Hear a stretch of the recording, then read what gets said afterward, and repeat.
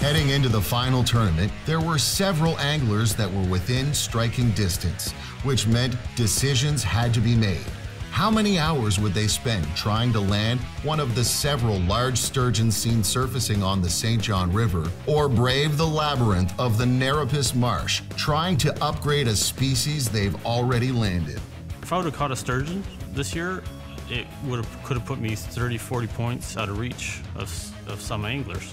But I spent an hour, actually, I put a time limit of fishing sturgeon this year of one hour, and I ended up spending an hour and a half because I got a bite and I lost it.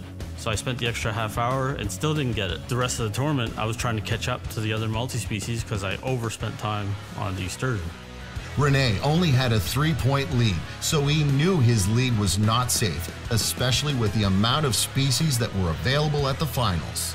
Since he took the lead, Rene never looked back hoping that his consistency and strategy could secure him his second straight title.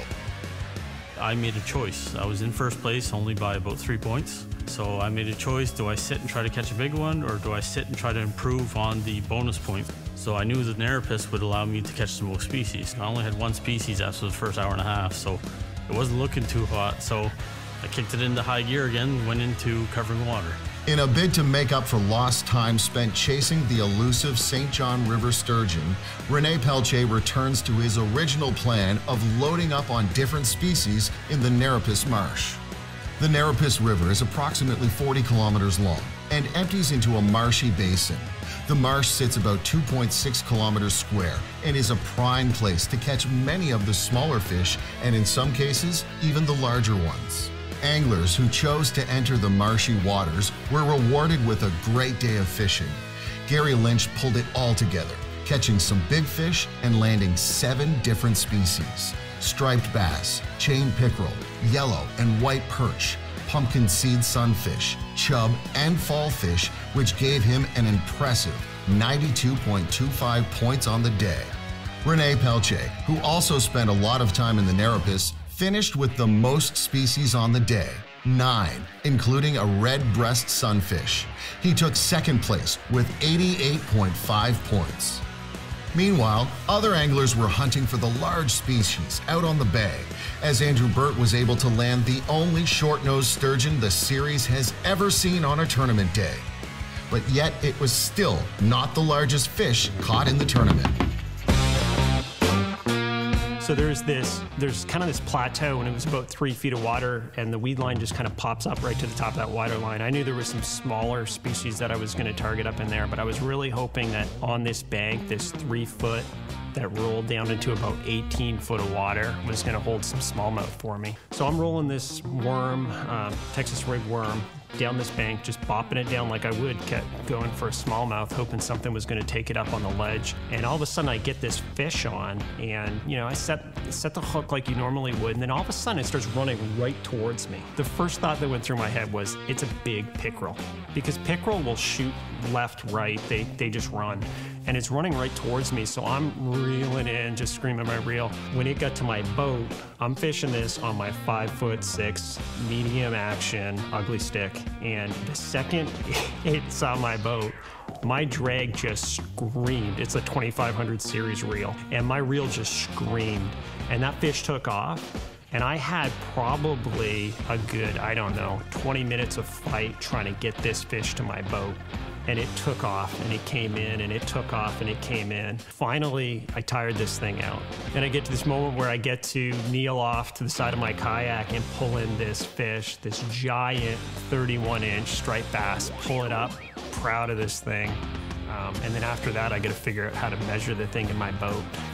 One of the best experiences um, at Grand Bay Westfield that I've had. With that 31 inch striped bass, Travis Melanson had a strong day with five species. He finished the day in third with 75.75 points. Chris Bingham also put in an impressive performance with six species, finishing in fourth place with 67.25 points. And Brian Cothra managed to find six species for 62.25 points, rounding out the top five. Grand Bay Westfield Finals was a decent day for variety, but it was a tough day to try and locate the target species of smallmouth bass. Chris Arnold was one of four anglers that found one, and his 9.5 inch smallie was good for the Lunker bonus points finishing the season in first place with 14 of a possible 20 eligible species for a total length of 183.75 inches plus 42.5 bonus points. Rene Pelletier secured a grand total of 226.25 points, clinching his second consecutive hook and paddle championship. As the skill and knowledge of all anglers increased this year, the series saw the tightest battle for the top spot seen in many years. John Cale and Rene Pelletier, who led back and forth for most of the season, were starting to feel the pressure from the tight group of up and coming anglers just below them. And all year I was looking up to try and catch them. The problem that we always have trying to catch them is they always do well at every tournament. And the way that bonus points work, they always catch the target species. They always get in the top five, so they're getting all these extra points. Not only are they catching seven or eight species every time, they're getting these bonus points. I don't think any specific catch gave me the edge in the last two years. I think what gave me the edge was consistency. I consistently caught multi-species, which allowed me to get bonus points for placing. I would say that was probably it, though I was doing so well on some of the species. I, will confess last year I was pretty laid back in it. I've had years when I was more intense so far as catching the species. Last year I was just having a lot of fun catching fish. Why I'm going to win?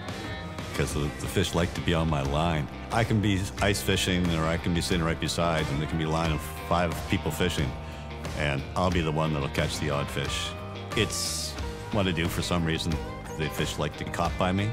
I would never say I'm the best fisherman. Anybody who is willing to do the research and the time that I've been doing, knowing what species are available in a certain spot. Hey, You know, I'd like to think that one of these days I might win this if I can poke a hole in John's kayak their fishing styles and my fishing styles are quite a bit different. Yeah, they're competition. They've been doing this thing for a while. They know the waters really well. Uh, they're gonna have to watch out because there's a lot of people coming up in this thing that are learning a lot more than they ever did. I think they're just gonna be, they're gonna be just as competitive as I am. I really think we're gonna see some some bigger fish. It's gonna be exciting for sure. This will be the biggest season yet. More anglers, more fish, and more at stake. I'm pretty good at finding spots that are fishy. I hooked up with a uh, long-nosed sucker. Slams up against the kayak. Now I've got a fish on my lap. I've got another fish on that's so big my rod's like this. Horse was the first thing that came to my mind. We're not ganging up on John. It's just he's he's always up there. We got to talk about him.